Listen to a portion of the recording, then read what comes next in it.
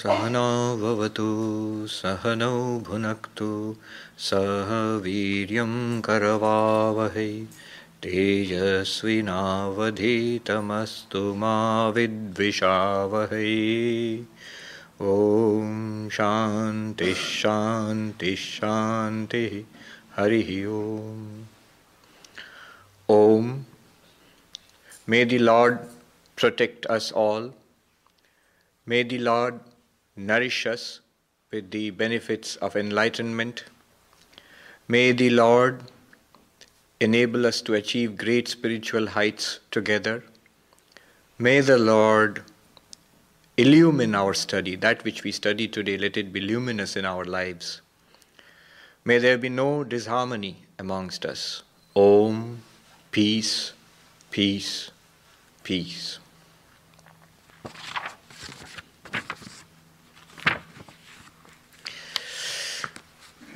Let's just chant the verses we have done so far.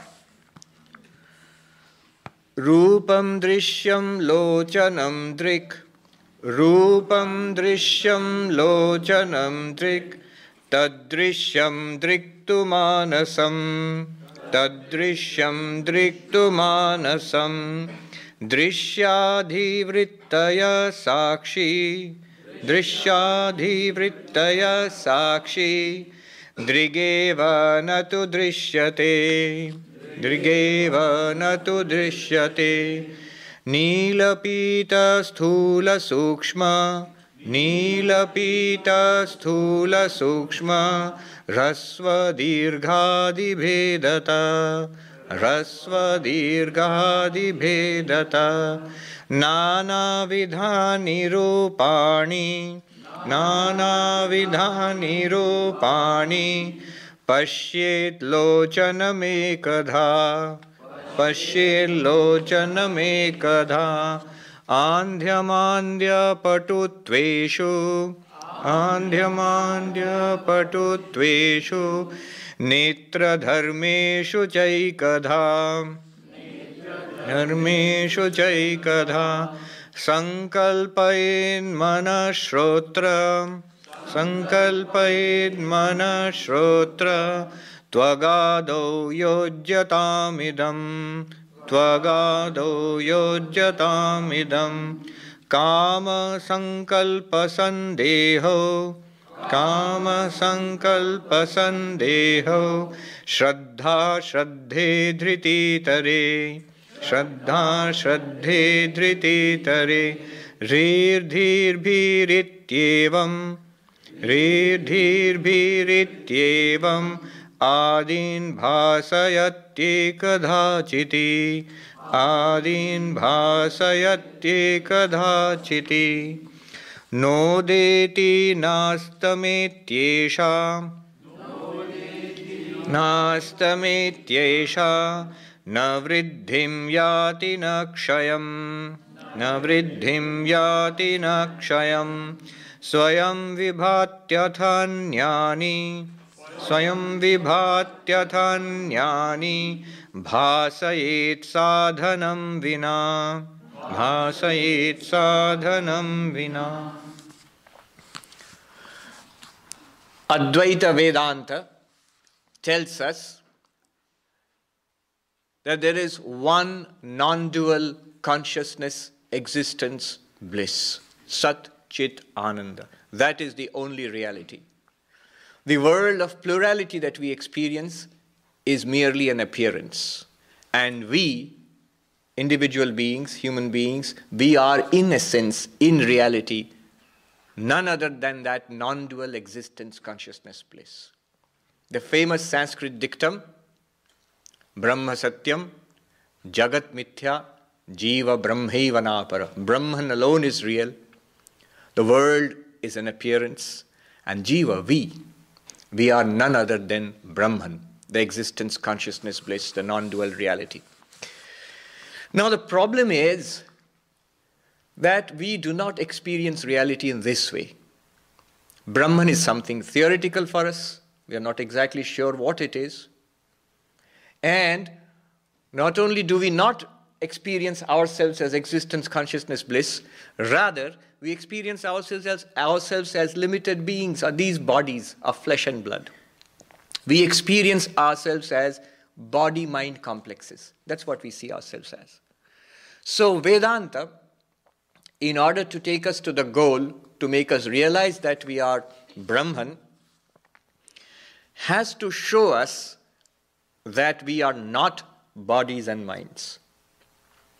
It has to show us first, it has to demonstrate beyond any doubt that we are not these bodies and minds, which we take to be take ourselves to be without any any doubt at all.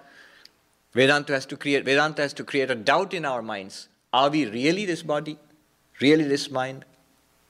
How does Vedanta do that? There are many ways. The way adopted in this text, what we have been seeing in the past two classes, the way is this. In all our experience, whatever we experience, there is a subject and an object. There is an experiencer and there is the experienced. There is a seer and the seen. When I look at this microphone, the microphone is the object of my experience, I am the subject. I am the experiencer, the microphone is the experienced. I am the seer, and the microphone is the seen. And the subject and the object are different. They are different entities. The experiencer and the experienced are different entities. The seer and the seen are always different entities. And Vedanta takes advantage of this fact it takes advantage of the fact that two things. First of all, all our experience is subject and object, seer and seen. And the seer and the seen are always different, number one. Number two, we always are the seer in any experience. We always know who are we? The subject of the experience, the experiencer, the seer. Now, holding on to these two facts, this text has taken us on a journey. It says, Look at, look at the world with your eyes, look at the world.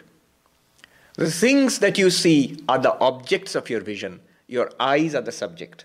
The eyes are different from what they see. The seer and the seen are different. Go deeper. The eyes themselves are the object of our experience. My eyes are open, closed, or whatever.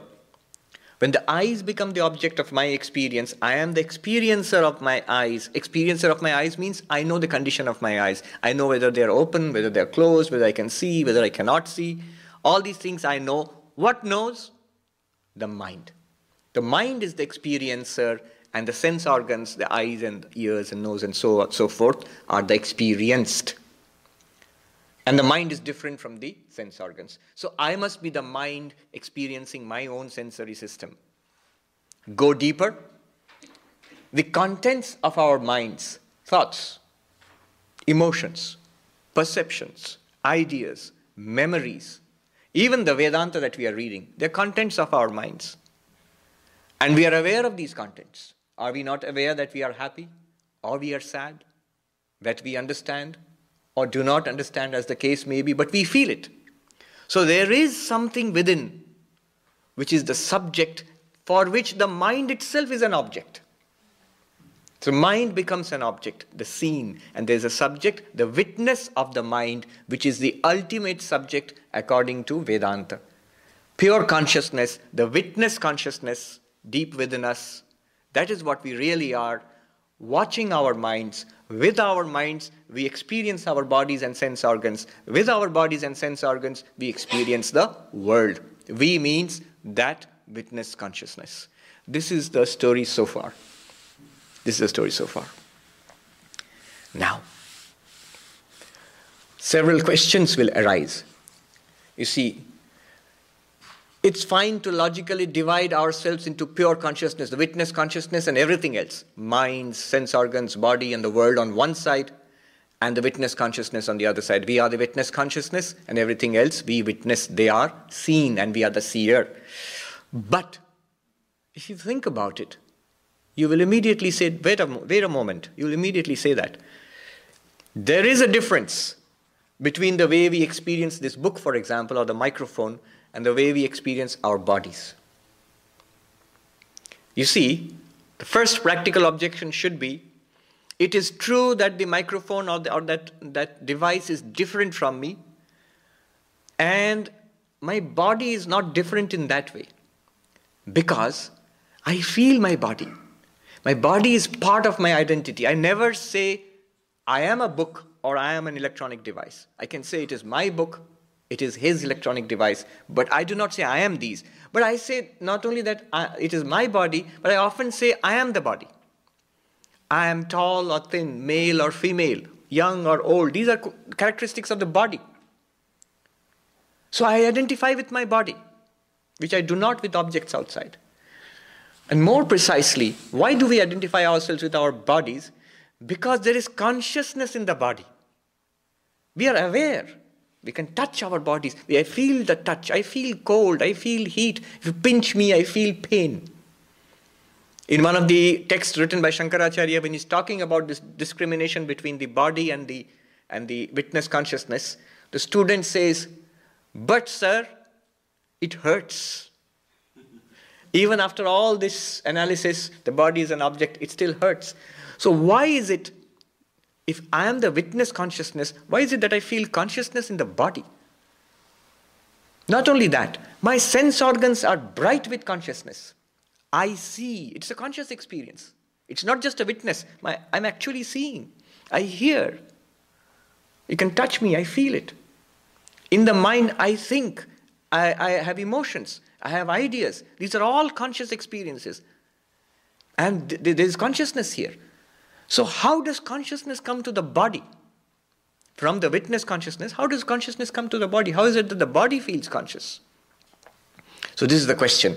And that we shall take up in the next verse. These are subtle questions. If the question is clear in our mind, the answer will be, uh, it will be thrilling to read the answer. And we can check with facts. Isn't it true? What they are saying, it's true. Let's see.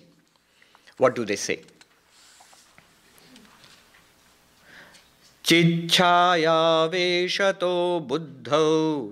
चिच्छायावेशतो बुद्धौ। भानं धीस्तु द्विधा स्थिता। भानं धीस्तु द्विधा स्थिता। एकाहङ्कृतिरन्या स्यात्। एकाहङ्कृतिरन्या स्यात्। अन्तःकरणरूपिणी। Okay. Let's talk about this and I'll come back to the Sanskrit. In Indian philosophy, there is a distinction between the self, the subtle body, and the gross body. The gross body is the physical body. The body which is sitting here, the body about which I say it weighs 60 kgs or 100 kgs or whatever. That's the gross body. And thoughts, emotions, feelings, memories, personality, all of that, the subtle thing within, it's called the subtle body. And beyond this is the Atman, the self, we ourselves. So the, the Indian philosopher, not just Vedanta, others too, they have a trichotomous view of the human personality. It's not just body mind, it's body, mind, self. Gross body, subtle body, and the self. Gross body, subtle body, and the self. Trichotomous view, threefold view of the human personality. The word soul in English is ambiguous. When we say soul, S O U L, soul, we have to make it clear whether we mean the mind or the self. The word soul in English comprises of both the self and the mind. They are put together in uh, literature, in philosophy, even in science. It's together, the body and the soul. When we say body and soul, the body is the gross body. The soul, the word soul actually includes, it can be I mean either the subtle body or the self. So you have to make a distinction there. Now, in Vedanta, we say the witness consciousness is reflected in the subtle body. The witness consciousness is reflected in the subtle body. Let's try to understand this. Imagine the sun. When the sun shines, light is reflected from all surfaces from houses, from rocks, from trees and plants, from cars. Everything reflects light. But there are some surfaces, like a pool of water, or like a shining metal disc, or like a mirror. They not only reflect the sunlight, you will find an image of the sun, a little sun formed there, an image of the sun. All surfaces are not able to do that. There are certain clear surfaces which can do that. A polished surface. It will not only reflect the light, you will find a little sun shining there. A dewdrop, you'll find a little sun shining there. Um, a, a steel plate, you'll find a little sun, a glass, a mirror, you'll find a little sun shining there.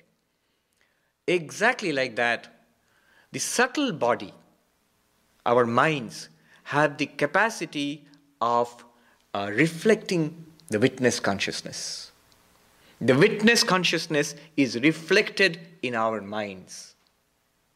And it is called the reflected consciousness. So you have two now witness consciousness, reflected consciousness. The reflected consciousness is a reflection of the real witness, the Atman, the pure consciousness in the mind. Nothing very fancy here. Just now we feel conscious. We all, I hope, we feel conscious. because Vedanta has a way of switching off consciousness. if we look inside, we feel, we are aware, we are thinking, we are feeling, we're trying to understand, we see, we hear. All this is consciousness. And the consciousness that we feel inside is exactly this reflected consciousness. The consciousness, the sentience, the awareness which we feel right now, all of us, is that reflected consciousness. The mind gets consciousness from this reflected consciousness. Pure con- or witness consciousness reflected in the mind or the subtle body. Reflected consciousness. And that reflected consciousness shines in the mind, and the mind gets consciousness. It borrows consciousness. And the mind which has borrowed consciousness illumines, reflects that consciousness, sends that consciousness, transmits that consciousness to our sensory system. And our eyes, our ears, our nose, our skin, they all, lights are thrown on, you know. Lights come on there. One by one, the lights, lights come on. It's just like at night when you look up there, the sky and the earth are illumined. By what? By the moonlight. We see the moonlight. But if you, if you know, we all know, the moon doesn't have light, light of its own. It borrows light from the sun and reflects it back on the earth. And we use that moonlight to see things at night. And when we were kids in school, we have all read list of luminous bodies.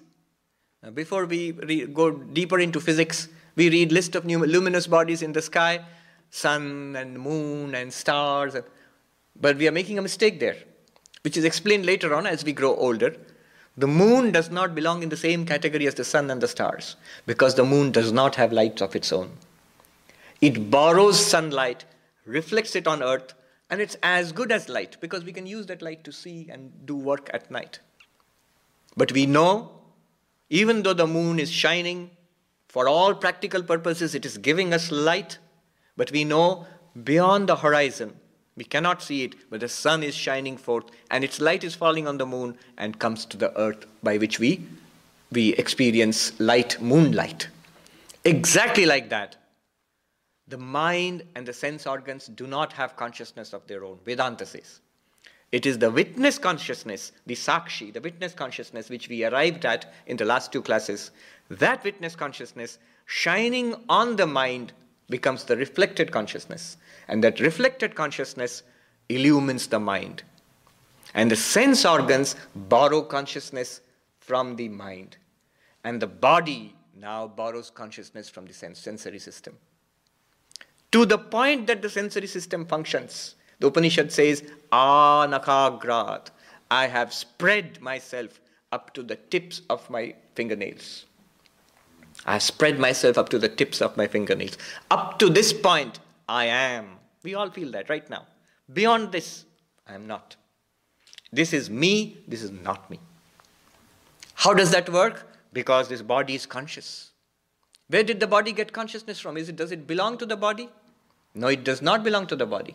How do you know it does not belong to the body? Because sometimes the body is conscious, and when the body dies, or when we, are, when we fall unconscious, the body loses consciousness. It does not act as a conscious being anymore. So the body does not have its own consciousness. You see, there is this concept of intrinsic consciousness and borrowed consciousness. What's the difference? Borrowed consciousness is that which comes and goes. Intrinsic consciousness is that which stays. A very simple example would be when we cook, the fire is burning, and we put a vessel on the fire, and we put water in the vessel, and we put vegetables in the water. After some time, the vegetables are hot, they get boiled. So the vegetables, the heat of the vegetables, the heat in the vegetables, does it belong to the vegetables? If it did, it would always be hot. But if you switch off the, and you, when you serve it, put it out there, very soon the vegetables are cold. So the heat did not, does not belong to the vegetables. When they were in the refrigerator, they were cold. And in the, uh, in the pan, they are hot. When you serve them out, after some time, they become cold. So it becomes cold because it's, the heat in the vegetables was borrowed. Borrowed from what? From the boiling water. Does the water have heat of its own, intrinsic heat? No. Because it was cold earlier, now it's boiling. And after some time, it will become cold again. Therefore, it has borrowed its heat. Where has the water borrowed the heat from? From the pan, which is red hot. Does the pan have heat of its own? No. It's borrowed its heat. Where has it borrowed its heat from? From the fire. And the fire, where has it borrowed its heat from? It has heat of its own. As long as the fire lasts, it will be hot. It has intrinsic heat. Whenever the fire is there, it is hot. Consciousness is borrowed in the body from the sensory system, the, the, nervous system. And the sensory system has borrowed consciousness from the mind. And the mind has borrowed consciousness from the reflected consciousness. And the reflected consciousness is borrowed from the sakshi, the witness consciousness. And the witness consciousness is borrowed from nobody. It is intrinsic consciousness. It is consciousness itself. It's always, it's always there. It's always consciousness. Whereas the mind and the sensory system lose consciousness. In deep sleep, not conscious. And in death, when the mind, the subtle body goes away, to other, other worlds, maybe to other births, then the body lies dead. No longer do we say, that is me. We don't say that. So, uh, the body has borrowed consciousness from the sensory system, the sensory system from the mind, from the mind, from the reflected consciousness in the mind, and the reflected consciousness is borrowed from the, the witness consciousness, the sakshi, which we are. We lend consciousness to this, and then, then up to the tips of my fingers, I say, I am conscious. That accounts for the difference between this body and this microphone. Though this body is an object of experience, this microphone is also an object of experience. What causes confusion is there is consciousness in the body. That's why we feel, I am this body. But the fact is, I am not this body. Now let us look at the verse. We'll see it's very easy to understand.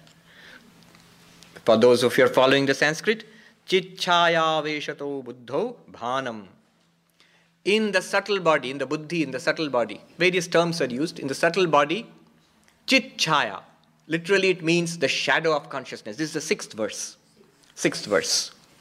Chit chaya means, literally, it means the shadow of consciousness. Or in our terms, reflected consciousness. Reflected consciousness shines in the mind, and hence we get bhanam knowledge. What knowledge? Every knowledge. All kinds of knowledge are possible seeing, hearing, thinking, understanding, loving, hating, wanting, meditating. All of that is possible because of the reflected consciousness in the mind. Now, he does something here. Two dvidha sthita. The mind, let us divide it into two parts. Now he's dividing the mind itself, the subtle body, into two parts. In Vedanta, normally we divide the inner instrument, what is called the antakarana, into four parts mind, intellect, ego, memory. Mana, buddhi, ahankara, and chitta. Mm, if you know the famous hymn of Shankaracharya, you know, Chidananda Rupa Shivoham Shivoham. So it starts off with Manobuddhya Hankara Chittani Naham. I am not the mind, I am not the intellect, I am not the ego sense, I am not the memory also. Now, these are normally this is how Vedanta divides the inner, the antakarana.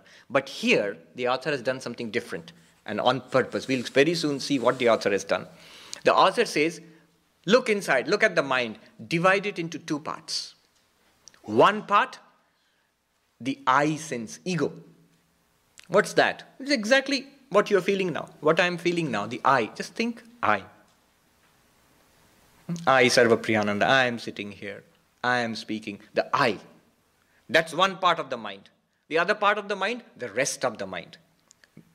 Intellect, the mind itself, memory, manas, buddhi, and chitta. That's the rest of the mind. And the ego. He isolates the ego from the rest of the mind. That bears repeating. What he has done now, look at the mind, you will find there are many things going on in the mind. There is thinking, there is feeling, there is memory coming up, there is understanding, and there is also something called the I. An ego sense, which comes up all the time I, I, I. Focus on the I, leave the rest aside. Why does he do that? You see, that's what's most important to us. Who is most important to us? First person, I. Okay, focus on that I. Now, having isolated that, he goes to the next verse.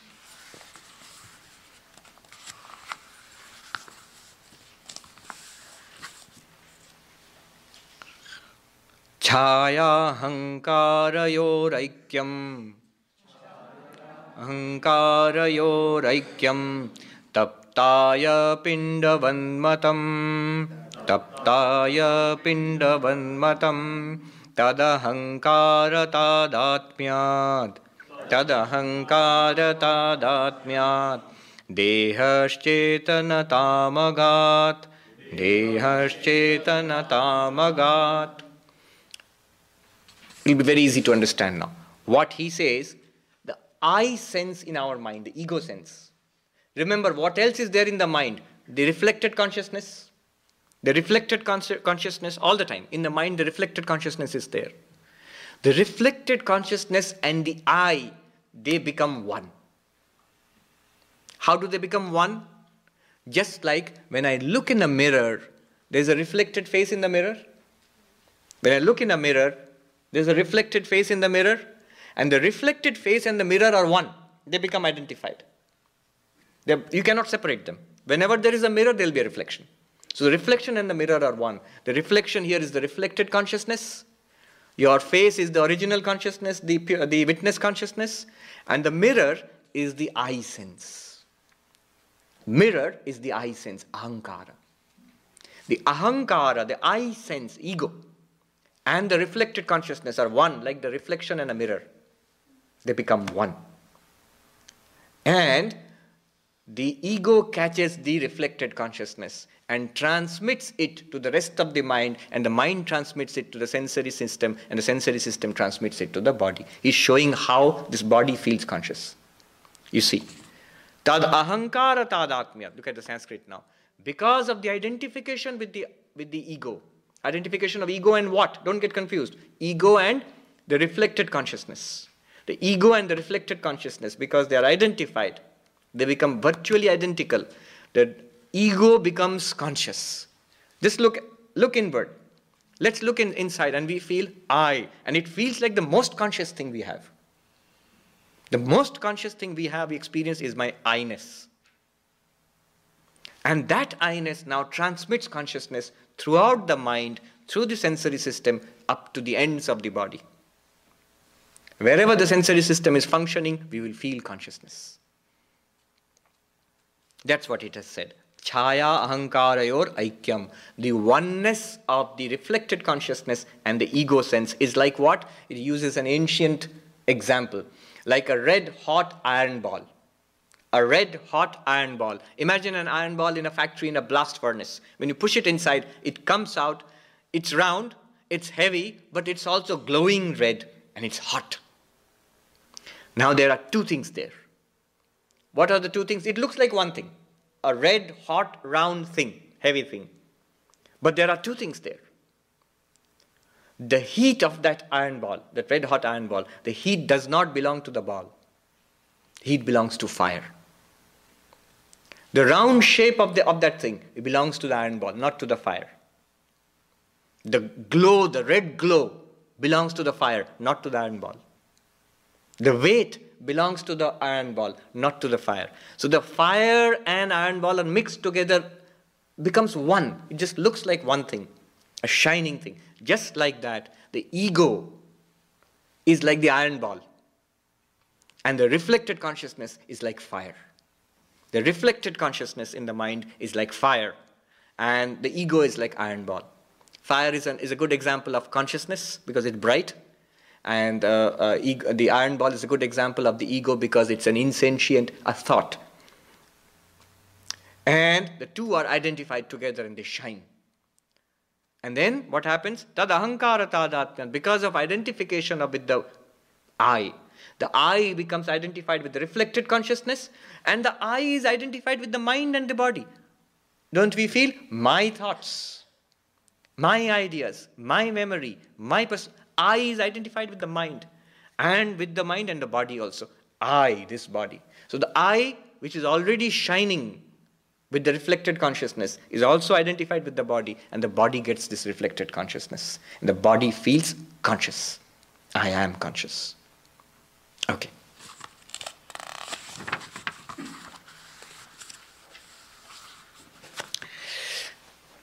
Eighth verse and ninth verse.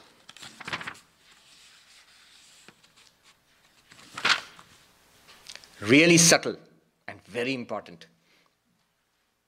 He says, Swami, you say every verse is very important. well, it's like that. I can't help it. But it's some extremely subtle and powerful ideas are given here. I guarantee it. If we get what they are saying, we'll already feel the bounds of Maya loosening.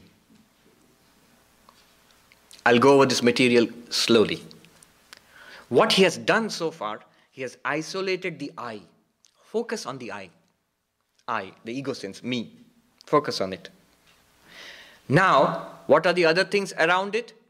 One is the reflected consciousness. Another one is the actual original witness consciousness. And the third thing is the body. Body. The body, the witness consciousness, and the reflected consciousness. These are the three things around what? Around me, I. Aham, I. There is a reflected consciousness, there is a witness consciousness according to Vedanta, and there is the body, I can see that.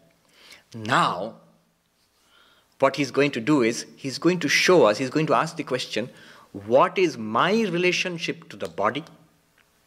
What is my relationship to the reflected consciousness? And what is my, this I, what is its relationship to the witness consciousness? Three questions. What is the relationship of the I, that I which I'm feeling right now? That I, what is its relationship to this body? And the I which I'm feeling right now, what is its relationship to the reflected consciousness? What is the reflected consciousness? Just the consciousness we are feeling right now. All of us, we are feeling conscious, sentient, aware. What is its relationship? What is my relationship to consciousness? That I's relationship to consciousness. And what is the I's relationship to the witness consciousness, the Sakshi? These three questions. Let us see. It is a, the answer will give us a vivid picture of our current situation, what we are right now, and what we have to do. अहङ्कारस्य तादात्म्यं कारस्य तादात्म्यं चिच्छाया देहसाक्षिभिः चिच्छाया देहसाक्षिभिः सहजं कर्मजं भ्रान्ति। सहजं कर्मजं भ्रान्ति। जन्यं च त्रिविधं क्रमात्। जन्यं च त्रिविधं क्रमात्। Beautiful verse. He says, I am identified with three things. I am identified with the body, I am this. I am identified with the consciousness because every time I think I, it's a conscious experience. I am conscious. And there is the witness consciousness, which according to Vedanta I really am. So I should be identified with that also. So these are the three things with which I am identified. The ego, the I, is identified with the body, with the reflected consciousness in the mind, and with the pure consciousness, witness consciousness, the sakshi. What kind of relationship? What kind of relationship do I have with these three things? With the body, with the reflected consciousness, and with the real pure consciousness, Satchidananda, with the Sakshi witness? The answers are crucial. He gives the three answers Sahajam, natural, Karmajam, born of karma, and Bhranti born of error.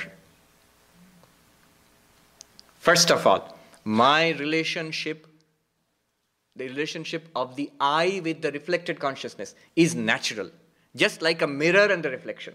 Wherever you, I put a mirror in front of me, my face will be naturally reflected in the mirror. Mirror and the reflected face will always be together. How long? As long as the mirror is there and the face is there, it will be reflected. It's the very nature of the mirror to reflect. So uh, the I sense will always feel conscious because pure consciousness, witness consciousness is there. The I functions like a mirror, so there'll be a reflected consciousness with the I always. Reflected consciousness and I have a natural relationship. Whenever there is an I sense, there will be a reflected consciousness. Whenever there is a reflected consciousness, it means there will be an I sense. Natural. They go together. The relationship between I and the body, karmajam, born of karma. This body we have got, according to Vedanta, we have got this body because of our past karma. We have got this body because of our past karma. The good and the bad together have come together to give us results, a part of our karma. We have liquidated a part of our assets in the bank. And that liquidated asset is our karma for this life. The good and the bad. The good karma gives rise to pleasant experiences, the bad karma gives rise to unpleasant experiences. And you know what they say in Vedanta? If you have really good karma, if you have good karma, you have pleasant experiences. If you have really, really good karma, you come to Vedanta. yeah, I'm not joking, they say that. You get a guru, uh, you hear of Vedanta, you, uh, you get a guru and a mantra, and uh, you hear of Vedantic doctrines is a sign of great good karma. So I congr- congratulate all of you. so, the karma gives us this body. This body is born of our karma as long as my present karma, the karma of this life, technically called prarabdha karma, as long as the prarabdha karma of this life lasts, the body will last. When this particular part of my karma is exhausted, the body will die. And I am related to this body as long as that karma lasts. The moment that particular karma is finished, karma for this life is finished, the body will die and my relationship with this body will snap. I will no longer say, I am the body. They will take it and burn it or cremate it or, or um, uh, bury it or whatever. I don't say I am that. I transmigrate. I go to another body, produced again by my new karma, which, which, with which I will have a relationship. This is the second thing. My relationship with the body is born of karma. As long as karma lasts, I will be I will have to say I am this body. When karma is finished, body dies, and I will no longer say I am this body. Now comes the crucial question, the real crucial question. What is my relationship, the I, I feeling, I feeling, bear down here, concentrate here. The I feeling which we have right now, what is its relationship to the witness consciousness? That is the question. What is its relationship to Brahman, to Atman, to existence, consciousness, bliss? All the same thing. Witness conscious, consciousness, Brahman, Atman, Satchidananda, all the same thing. What is the relationship of Brahman, Satchidananda, Atma, Sakshi, witness consciousness, pure consciousness, whatever you call it, with the I feeling which I've got right now? And the answer is no relationship. There is no relationship. Bhranti Janyam, it is born of error. We, the pure consciousness, we feel I in this body, it's born of error. I am really not I. Yes.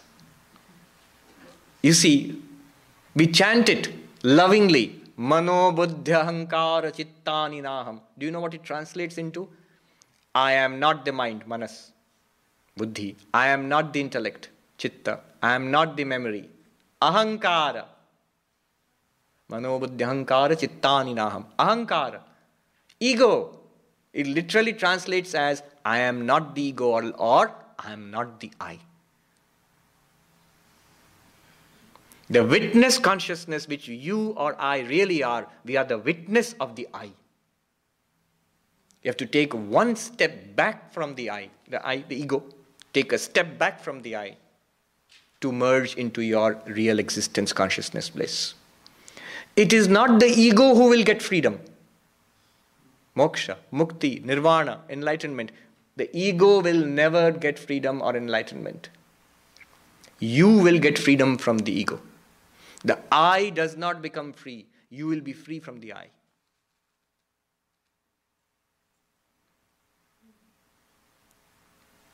When Mr. X or Mrs. Y becomes free, enlightened, Mr. X is enlightened from Mr. X. From being the limited individual, the ego which is identified with Mr. X. The ego still remains in the mind, identified with reflected consciousness and with the body.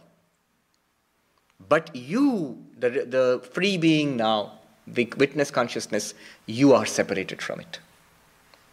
You still shine upon it.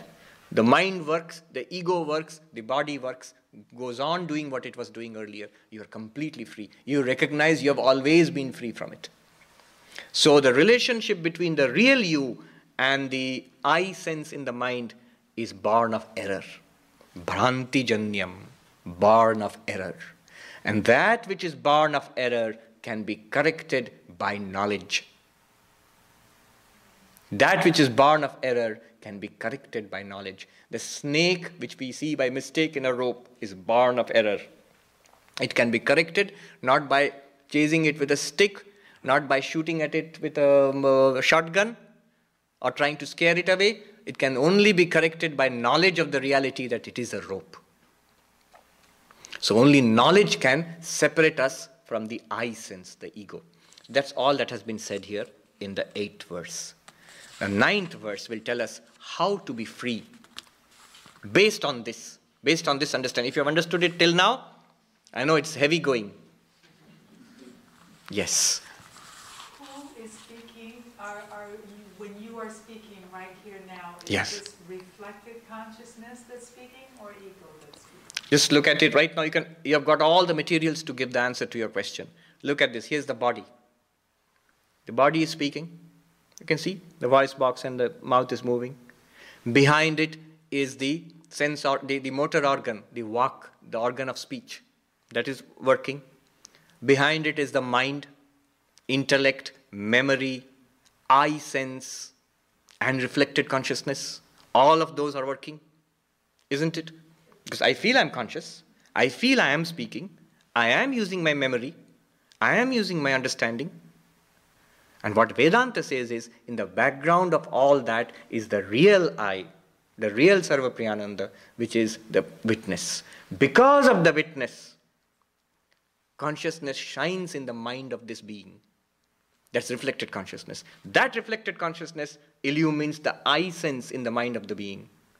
The I sense becoming illumined by reflected consciousness illumines the rest of the mind. And from that, the body and sense organs, they all get consciousness and start functioning. Who is speaking then? It's a combination of all of them. It's a combination of all of them. It is the pure consciousness, limited by a mind and an ego and a body, that is speaking. So if I get illumination, will I stop speaking? No. Speaking is at the level of the body, at the level of the mind. That can go on, there's no problem. In fact, this will tell us what will happen. based on this understanding. How do we snap these three relationships? I and the body. How will I be free from this body? I and reflected consciousness. How will I end the relationship between myself and reflected consciousness? This I sense and pure consciousness or witness consciousness. How can we snap this relationship? How can I remain as witness consciousness? These three are answered here. Each of these verses is like bombshells. So much is packed into them. We will do this and stop for questions. Sambandhino satornasti Sambandhino satornasti Nivritti sahajasya tu कर्मक्षयात् प्रबोधाच्च कर्मक्षयात् प्रबोधाच्च निवर्तेते क्रमादुभे Nivartete kramadubhe. Three relationships between the I and the reflected consciousness, between the I and the body, between the I and the real I, the witness consciousness. The apparent I and the real I. So in Vivekananda's lecture, the real man and the apparent man. So the real I and the apparent I. These three relationships, how can we snap them? How can we be free of them? He says, the natural relationship between the reflecting medium and the reflection, between the I and the reflected consciousness, will persist as long as both of them are there. When a mirror is there, there will be a reflected face. You can't do anything about it. As long as you are awake, as long as you are using the mind in the waking state or in the dreaming state, we are using the mind, there will be an I, and that I will appear conscious. Only when you switch off the mind, when the mirror is turned down and kept face down, reflection will disappear. When you go into deep sleep, the mind shuts down, there is no reflection, and there is no I sense. So, as long as the mind is there, there will be a reflected consciousness, and the two will appear together. Sambandhino sator nivritti sahajasyatu. Of the natural relationship between the I and the reflected consciousness, there is no snapping that relationship as long as both of the terms of the relationship are present. As long as the mirror and the face are present, there will be a reflection. Then, karmakshayat. What is the, how do you snap the relationship between yourself and the body? When karma is exhausted, at the point of death. When the body dies, the I will be free of the body. Only way, there's no other way. Karma exhausted, body dies, and the I with the subtle body goes to another body and loses, snaps its relationship with this dead body. Now we come to the crucial thing. What can Vedanta do for us? What can spirituality do for us? Here is the crucial thing. Prabodhacha. The third relationship, the relationship between the Atman, the pure consciousness, the witness consciousness, and the I sense, the ego in the mind, how can it be snapped? Prabodhat, by knowledge, by an awakening. By an awakening. When you awaken, the I does not awaken. You awaken from the I, from the dream called the limited existence of an individual. You awaken from this little cocoon. The worm which built a cocoon around itself flies out a butterfly, a glorious butterfly. So you awaken from the dream you call a limited human life. That's why the Buddha's name is so evocative. Buddha means the awakened. Meaning, thereby, the rest of us are either asleep or in a dream state. So, awaken from the, the, the dream of being a limited individual, limited human being. Uh, you step back from it, you let go of it. There is no awakening, illumination, freedom, enlightenment for the body. The only fate of the body, I'm sorry to say, is death. From dust it has come, it will go back to dust. And sooner than we think, unfortunately. Every day it is going back to dust. There is no, no enlightenment for the body. It will not survive death. But the subtle body survives death the subtle body, the mind, intellect, according to Vedanta, according to, according to every religion, not just Hinduism. Religion is based on the fact that the subtle body survives death. But there is no enlightenment for the subtle body also. It will go from birth to birth, gathering experiences. The moment that enlightening knowledge comes, that the, the reality, the pure consciousness, the witness consciousness remains in its, as we say, sve mahimni, in its own glory. The subtle body dissolves back into nature. Subtle body, like the physical body, was provided by nature, provided by Maya, by Prakriti. If you are a Sankhya philosopher, you will say Prakriti provided you with the subtle body. If you are an Advaitin, like most of us here, you will say Maya provided you with this subtle body. But what has come from Maya or Prakriti or whatever, it means nature. It will go back to nature. Physical bodies, we have had many. Subtle bodies, each of us has one. When we get enlightenment, the subtle body also dissolves. And the Atman, pure consciousness, remains in its, in its real glory as existence, infinite, consciousness infinite, bliss infinite. Prabodhacha, by enlightenment, by, uh, by knowledge. So the sword of knowledge can cut the knot of ignorance. It will not free the I sense from the body, but it will free you, the real I, the, the witness, from the body and mind, from the I itself. How we will do that? How will that knowledge free me and how will I get that liberating experience when I can become free from myself? Mm. So there are there will be these exercises which will be given at the end. And don't flip. Now I can see some people flipping immediately. Let's go straight to the end. You cannot do that. Uh, because we need to have certain foundation for that, then we will go into that. Six exercises will be provided at the end. It will take us through a graded course of uh, meditation and, and thinking and philosophical thinking, by which we will realize ourselves to be pure consciousness. Not only that, we will realize this world itself to be pure consciousness. I started with the, with the statement that Advaita Vedanta says there is only one reality existence, consciousness, bliss we see ourselves as limited bodies. So the Advaita, this text tries to free us from this conception that we are limited bodies. Once we see ourselves as existence, consciousness, bliss, then we look back upon the world and we will see all that we had separated ourselves from. World, I am not the world, I am not the body, I am not the mind. All of that, body, world, body, mind, all of that is in reality nothing other than pure consciousness. That also will be shown. How is it? How is that possible? So, this is what lies ahead of us. I know today was heavy going, but these are crucial concepts. I'll sum up in one minute what I have said so far, and then uh, one or two questions we can take and then wrap up. What we have learned so far is the first question If I am witness consciousness, how does the body appear conscious?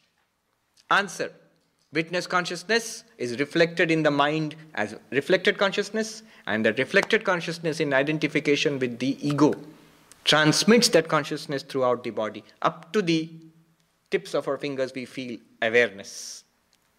So, body gets consciousness, borrows its consciousness from the senses. The senses borrow their consciousness from the mind, and the mind borrows its consciousness from the reflected consciousness. And the reflected consciousness is is just borrowed, is a reflection of the pure consciousness which we really are. That's question number one. Then the I sense, that's what we learned. The I, the ego, is related to the body, to the reflected consciousness, and to the real witness consciousness. How is it related? Three relationships. With the body, because of karma. With the reflected consciousness, it's natural. Whenever the I will be there, it will appear to be conscious. And with the pure consciousness, witness consciousness, no relationship, error. How can we snap these relationships? Born of karma, a natural born rela- uh, relationship, and the relationship born of error. How do we correct them? That which is born of karma can only be snapped by death when karma is finished. That which is natural can never be snapped. Whenever there is I, there will be consciousness. I consciousness. But what can be snapped is the relationship between the I sense in the mind and the pure consciousness which I really am. That will be snapped by knowledge. Knowledge comes in the mind and we the mind separates itself. We see that it is separated. I am not it. I am not even the I. Ahankaranam. I am not even the I. Am the light shining behind the I. One of these stotras of Sri Ramakrishna says, Buddhescha sakshi, yo vetti sakalam nachayasya vetta. The witness of your intellect, that which watches the intellect from behind the intellect, and the one who knows everything, but whom you cannot know. That is actually an adjective used for Sri Ramakrishna. It is none other than the witness consciousness which you or I have all the time, which we are really. All right. One or two questions. There's a question there. Yes. The mind doesn't uh, dissipate upon death like the gross body. Which the subtle, subtle body. subtle body does not dissipate. That's what's that's what's called the soul sometimes in English. It goes from body to body. That's what we say when we. It'll come later on. When we die, it's a subtle body if you want details in Vedanta, they'll talk about Pranamaya Kosha, Manomaya Kosha, Vijnanamaya Kosha, and with the Anandamaya Kosha also. So these go to another world or other bodies. This is what is reborn again and again and again. This is the individual. But we are beyond that. We are not even those things. We are the pure consciousness. So it doesn't dissipate. It dissipates only at the end of a cycle of births and deaths when we get enlightenment. Yes.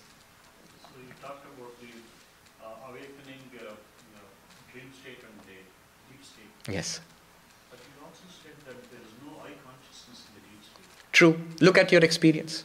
But you are experiencing the deep sleep also. Yes. You are experiencing without I consciousness. What Vedanta says is, the, it's a good question. In deep sleep, the mind does not function. Because nobody feels, I am in deep sleep now. If you feel that, you are not in deep sleep. You know, sometimes children are teased by parents in India uh, to find out if the kids are naughty, especially they get very naughty at the time of at bedtime. They become hyperactive. And sometimes they pretend to sleep because mummy is scolding them. So the mummy says, if the little boy is truly asleep, his left foot will move. and the, if the tiny left foot moves a little, you're caught, you're not sleeping. the mind is still functioning there. You're not really asleep. If you're asleep, the mind wouldn't function. There would be no I consciousness. And yet you experience a blankness. So, what experiences the blankness in deep sleep without the mind? There is no awareness of the world. There is no awareness of the body lying on the bed. There's no awareness of mind, dreams, thoughts, memories, nothing. And yet a blankness is experienced. What experiences the blankness? It is the pure consciousness alone, the sakshi, the witness. The witness with the body and mind experiences the presence of objects. The witness in deep sleep experiences the absence of objects. The absence of objects of experience is what we call deep sleep. Witness is constant. One more question and we are done. Yes, there's a question in the back. Can knowledge exist without the mind? Can knowledge exist without the mind? No. How, how knowledge will free us from the mind. Yes. So the confusion also exists in the mind. You see, ignorance also cannot exist without the mind. Ignorance is the root state of the mind. It's called the causal body. I have not entered into that, the Karana Sharira. And that is destroyed by knowledge. What happens is a beautiful question, it's a very deep question. Where does knowledge exist? Knowledge exists only in the mind, nowhere else. After all, let's see. Any, any kind of knowledge, just see. Physics, chemistry, English, German, where does it exist? Not in my thumb. It's in the mind.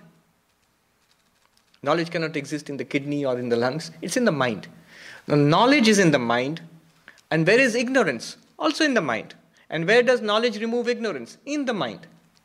So, in the mind is the ignorance that I am this body and mind. I have I have no idea of my nature as pure consciousness. There comes the knowledge of my pure consciousness, which Vedanta provides, and that destroys the ignorance in the mind. And the pure consciousness, which was always there, reveals itself. It's always there. I know it sounds, uh, it, it actually sounds pretty logical, you know. That's what happens. That's why in Vedanta they say, knowledge will not give you pure consciousness. Knowledge will only remove ignorance. Then what about that knowledge? It remains in the mind. You, as a pure consciousness, you have nothing more to do with that knowledge also. That's why Sri Ramakrishna uses a strange story. He says, A thorn has pricked your flesh. A thorn has pricked your flesh. Now you want to remove that thorn. You take another thorn and remove that thorn. Now, will you keep the second thorn in your flesh also? You'll throw that away also. Now, what does that mean? It means he explains the thorn of ignorance is in my flesh, and the thorn of knowledge comes and removes the thorn of ignorance. And then both are thrown away. Normally, if you say that ignorance was there, I got knowledge, removed ignorance, and then I removed knowledge, our normally our binary mind will say that, oh, again I've become ignorant. It's like I knew something and I forgot something. But this is not what is meant here. So the knowledge which comes is also within Maya. And it removes the ignorance which is within Maya and sets us free. Okay, one question, last question. But Yeah, you asked her. I was just going to say, ask if um, you were saying how uh, when we fulfill our karma, then we die, and that removes that relationship with the I. But do we always die when we fulfill our karma, or could we die before we fulfilled our karma? Okay. Uh, karma here is the results of past actions. And they divide karma into three parts. Prarabdha karma means the, karma which has started giving results. Agami karma, that which will give results later on. Sanchita is the, the entire stockpile of karma which we have got. So, out of all this karma, a part of that, Vedanta says, is used to generate this present body. That much which is used to generate this present body will give us a series of experiences in this life, good and bad. When that is finished, this body will die. This body dies. And the I, the ego sense, with the mind, it goes on to the next body and to the next karma, next set of karma. So the idea is when karma is finished, body will die. Nobody can prevent it. Yeah, we'll stop here. ॐ पूर्णमदः पूर्णमिदं पूर्णात् पूर्णमुदच्यते पूर्णस्य पूर्णमादाय पूर्णमेवावशिष्यते। ॐ शान्ति शान्ति शान्तिः। हरिः ॐ तत्सत्। Om, that infinite, that is infinite, the, the, the transcendent is infinite. From the transcendent infinite has come this manifest infinite. This manifest infinite arises from the transcendent infinite. The transcendent infinite is it remains full, and the manifest infinite is also full and complete and perfect. When we realize that the, the infinite in this manifestation, the transcendent infinite alone remains. Om, peace, peace, peace. That was a free translation, not a very good one.